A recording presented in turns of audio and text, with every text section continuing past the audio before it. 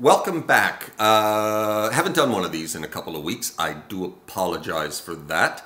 Uh, but we're back, and uh, that was the intro and solo to not what I was just playing. That's actually the first heavy metal riff of all time.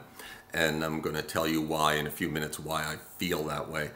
Uh, but the video that you just watched, that was the intro. I did the intro because it's so fucking heavy and cool. I wanted to play it uh, and solo to the metal masterpiece War Pigs by Tony Iommi and Black Sabbath coming in at number 56 on Guitar World Magazine's Top 100 Solos of All Time.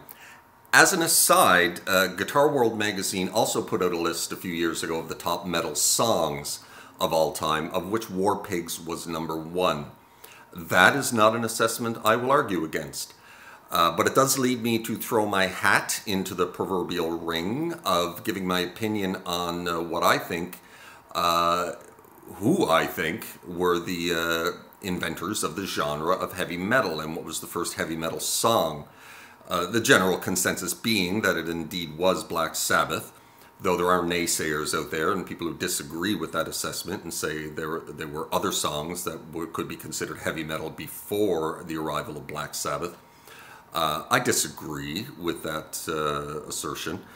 Uh, I will uh, contest that it was indeed Black Sabbath who were the pro, uh, pro, what's the word I'm looking for?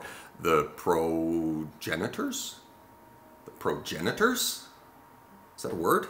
Is that the word? I, I don't know. Um, I'm going to go look it up. Hold on a second. Holy shit, it was progenitors, the progenitors of heavy metal. Uh, and uh, I'm going to tell you why I feel that way. And uh, at the close of the 60s, as the 60s were coming to a close, uh, rock and roll music was getting heavier and heavier and heavier.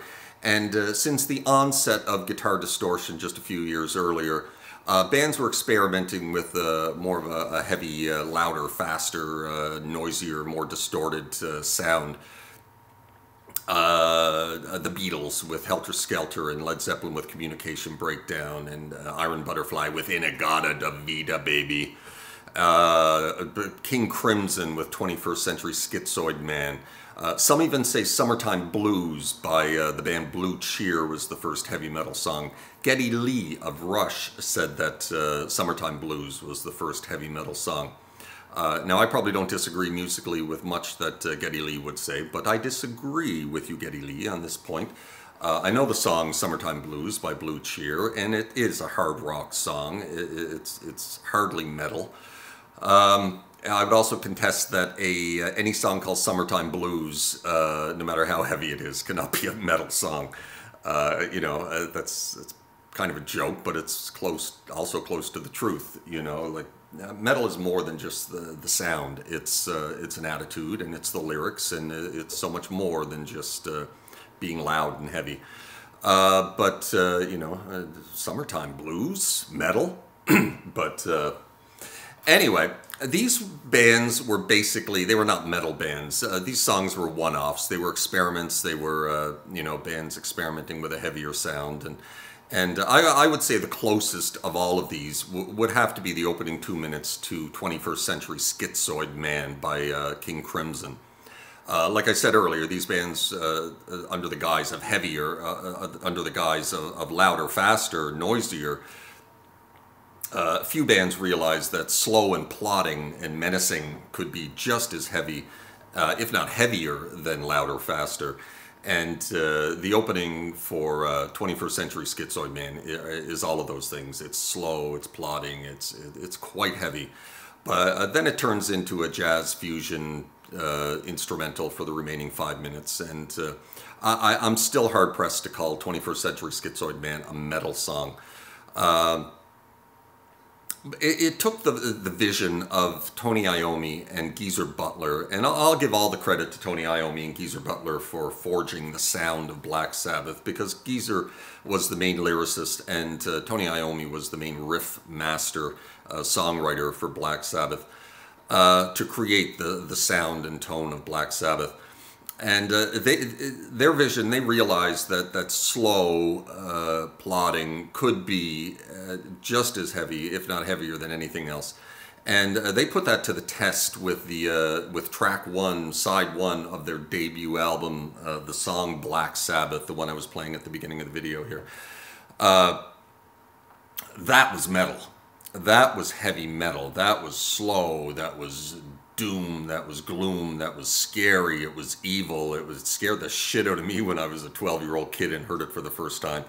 Uh, that was heavy metal. And even the riff itself, uh, it, it's, it's an inverted triad with a diminished fifth. Uh, in, in, classical music, it's known as uh, Diabolus in Musica, uh, the devil in music. And, whether Tony Iommi knew that or not, uh, if he knew it, then it just adds uh, all the more mystique to the uh, the great song. But uh, even if he didn't know it, it hardly matters. But uh, it had never been used before in rock and roll music. It was more of a classical music construct, and uh, it just sounds evil. And it was evil in that song. And so, anyway, I, I, will argue that that was the first heavy metal song. they were a the first heavy metal band. Start to finish, track one to track 10 of that album was heavy metal. And uh, just uh, just a, a, great opening to the genre and a classic, classic album. And uh, I'm just going to leave that there. And, uh, and, that's my opinion, and you may disagree with it, and that's fine. But uh, it's my opinion, and I'm sticking with it. But uh, anyway, I'm going to move on to the solo for War Pigs briefly right now. The uh, It's Tony Iommi's only uh, solo on this list, and probably the most uh, deserving. It's probably his most famous solo. Uh, excellent solo. Uh, great, great opening to the solo where he bounces his notes off the open E string to fill out the sound because they are just a, they were just a three-piece band and uh, great opening to the solo and some classic little blues bluesy type riffs in there and a really great little uh, riff uh, kind of a trademark riff of Tony Iommi. Uh, this little wait I'm playing it wrong.